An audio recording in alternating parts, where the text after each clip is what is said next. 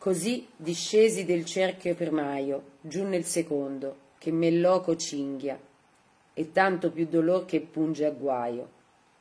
Stavvi minosso orribilmente e ringhia, essamine le colpe nell'intrata, giudica e manda secondo c'avvinghia.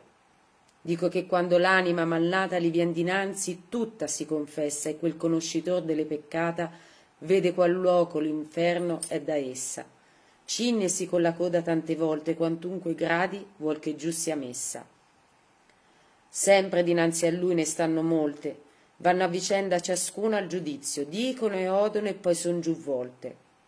O tu che vieni al doloroso ospizio, disse Minossa a me quando mi vide, lasciando l'atto di cotanto uffizio, guarda come entri e di cui tutte fide.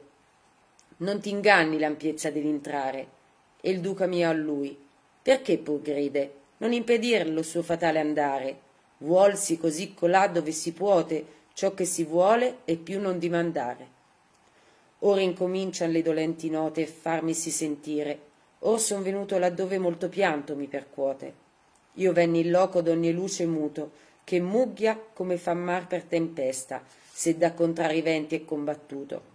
La bufera infernal che mai non resta mena gli spiriti con la sua rapina, voltando e percotendo li molesta.